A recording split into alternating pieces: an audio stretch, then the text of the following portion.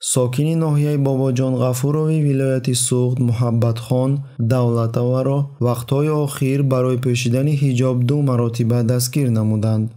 муҳаббатхонро санаи 26 сентябр дар ҳафти рейд ки дар бозори панҷшанбеи шаҳри хуҷанд баргузор гардида буд дастгир намуданд. ба ман таҳдид намуданд ки ба шӯъбаи милиса мебаранд ва дар он ҷо ман бояд эзоҳнома нависам вақте ба онҳо гуфтам ки аз болояшон ба прокуратураи генералӣ шикоят мекунам маро раҳоӣ намуданд мегӯяд ӯ. Муҳаббатхон мегӯяд ки се моҳ пеш дар бозори атуш ба ӯ бо тарзи дағалона маслиҳат доданд ки аз либоси ба тоҷикон бегона эъроз кунам.